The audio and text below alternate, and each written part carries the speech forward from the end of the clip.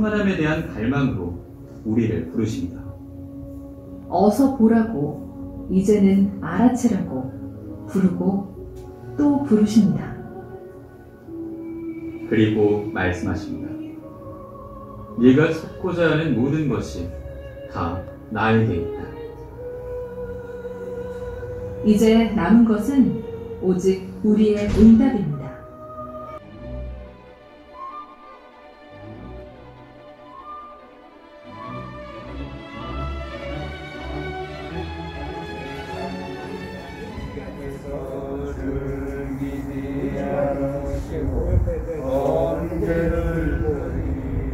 보리려 맞이하니 하십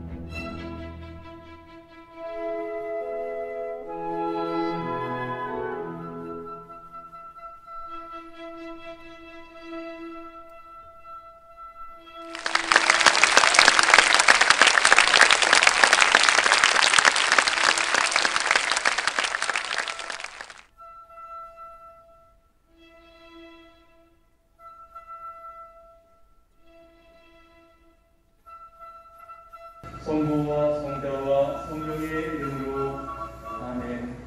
우리 주 예수 그리스도의 은총과 하나님의 사랑과 성령의 수교가 여러분 모두와 함께 또한 사제의 영과 함께